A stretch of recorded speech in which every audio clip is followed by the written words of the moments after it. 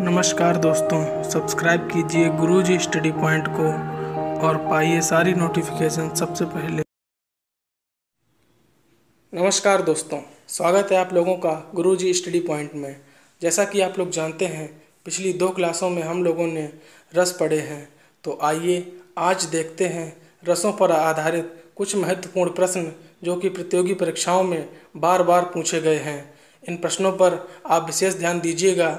इन्हीं प्रश्नों में से कोई भी प्रश्न अगली परीक्षा में भी आ सकता है। बहुत महत्वपूर्ण प्रश्न हैं। सब प्रश्न मैंने नहीं लिखे हैं। जो बार बार रिपीट हुए हैं मोस्ट इंपॉर्टेंट क्वेश्चन हैं, वही मैं आप लोगों के लिए लेकर आया हूँ। तो कॉपी और पेन लेकर बैठ जाइए और मेरे साथ साथ लिखते रहिए। तो आइए देखते हैं पहला प्रश्न, जो कि है, रस सिद्धांत के आदि प्रवर्तक कौन हैं? तो जिसे पता हो, वो कमेंट कर सकता है और जिसे नहीं पता हो, उसे मैं बताऊँगा। तो दोस्तों, रस सिद्धांत के जो आदि प्रवर्तक हैं, वह हैं भरत मुनि। भरत मुनि से और प्रश्न यह भी निकलते हैं कि भरत मुनि ने रसों की संख्या को कितना माना है। तो वह मैं आपको पहले करवा चुका हूँ, वह हो जाएगी आठ। तो आइए अब देखते हैं अगला प्रश्न। सबको पता है कि शांत रस को नौमा रस कहा जाता है, मैंने पहली वीडियो से आप लोगों को बताया है। लेकिन शांत रस जो नौमा रस है, उसकी प्रतिस्थापना किसने की थी? ये प्रश्न अब आने लगा है परीक्षाओं में। तो आइए देखते हैं।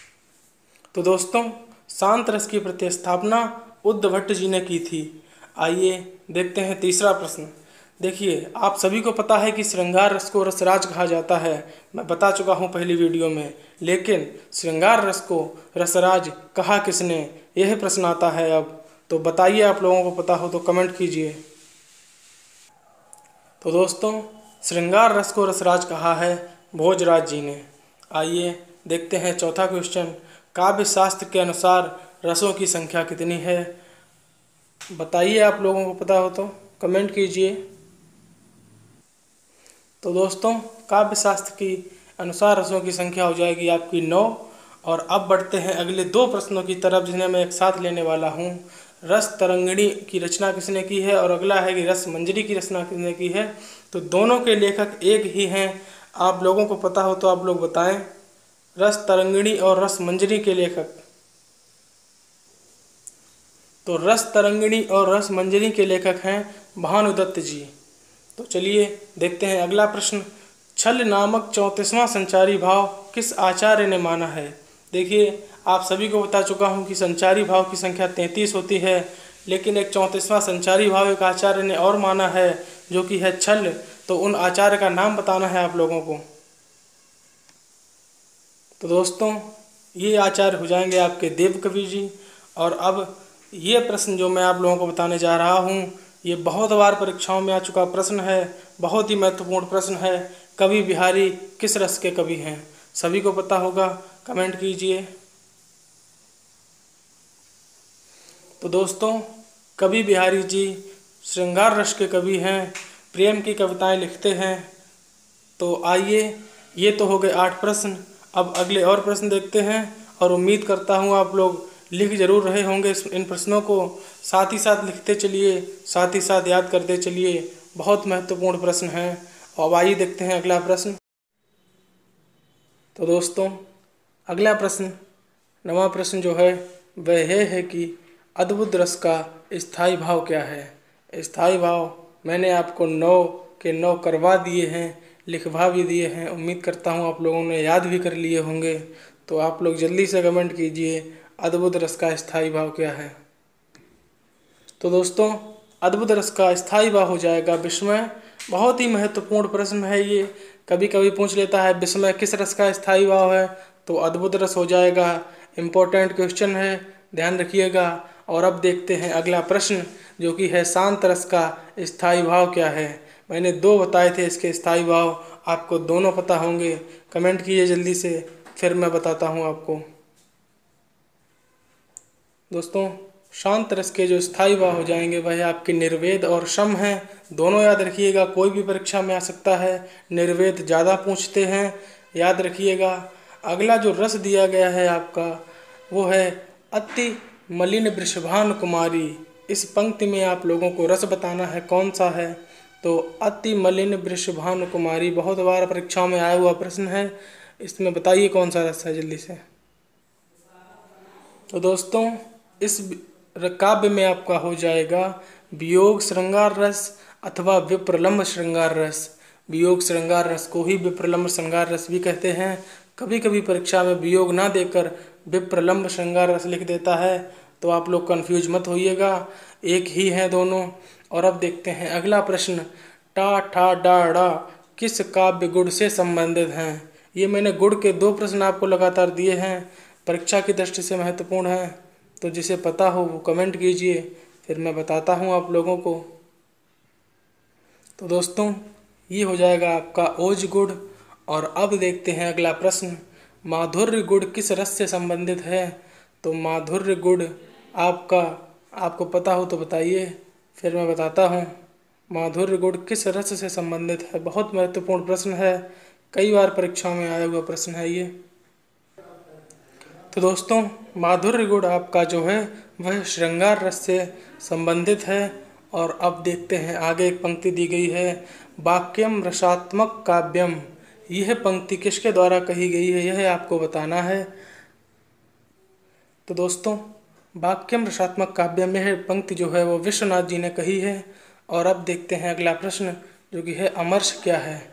जैसा कि आप सभी को पता है कि अमर्ष जो है, वह एक संचारी भाव है। और अमर्ष क्रोध का पर्यायवाची भी है।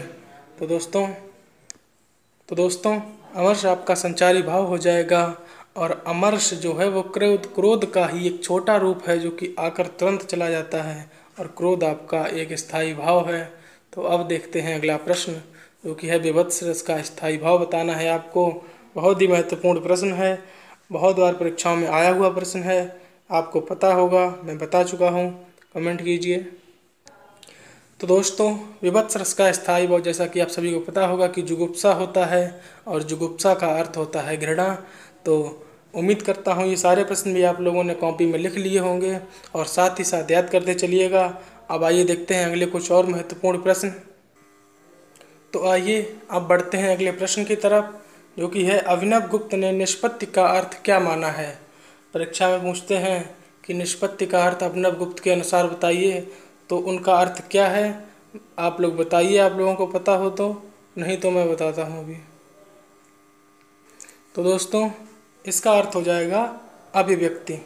आइए बढ़ते हैं अगले प्रश्न की तरफ़, जो कि है भरत मुनि के अनुसार भावों की कुल संख्या कितनी होती है?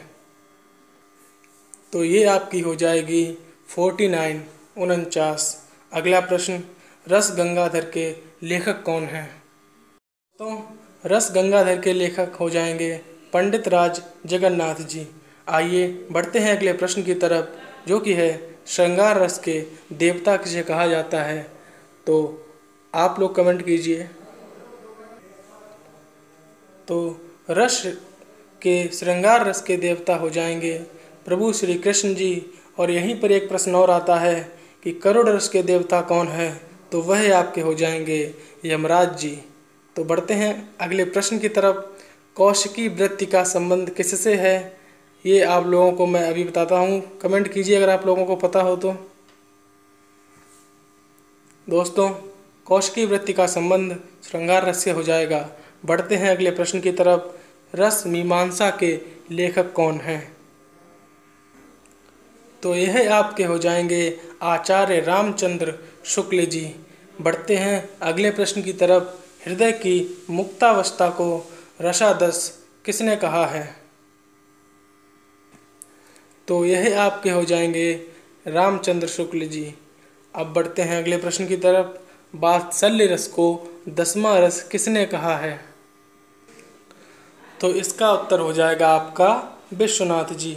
अब देखते हैं अंतिम प्रश्न आज की वीडियो का, और यह है कि स्थायी भाव को उद्दीप्त करने वाली जो परिस्थितियाँ होती हैं, उन्हें हम लोग क्या कहते हैं? तो इन्हें हम लोग कहेंगे विभाव तो ये रहे एक कुछ 25 बहुत ही महत्वपूर्ण प्रश्न, जो परीक्षा की दृष्टि से बहुत महत्वपूर्ण हैं। इन्हें आप लोग अपने नोट्स में लिख लीजिएगा और साथ ही साथ याद भी कर लीजिएगा। इन प्रश्नों में से ही आपको अगली परीक्षा में कुछ प्रश्न मिल सकते हैं।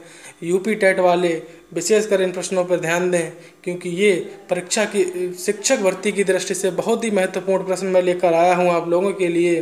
उम्मीद करता हूँ कि वीडियो अच्छी लगी होगी। अगर आप लोगों को कुछ भी समझ में आया हो तो वीडियो को लाइक ज़रूर कर दीजिएगा, और कुछ ना समझ में आया हो तो आप कमेंट करके नीचे दोबारा से वो चीज़ मुझसे पूछ सकते हैं। मैं अगली वीडियो में अंत में मैं आपको वो चीज़ सब दोबारा से समझा दूँगा। तो दोस्तों, इस चैनल को सब्सक्राइब कर लीजिए, जिससे कि ऐसी ही मज़ेदार वीडियो मैं आप लोगों के लिए और भी लाता रहूँ। तो आज के लिए इतना ही। मिलते हैं अगली वीडियो में। रस आपके यहाँ से समाप्त हो चुके हैं। अगली वीडियो में कुछ नया टॉपिक लेकर आऊँगा आप लोगों के लिए। तब तक के लिए धन्यवाद।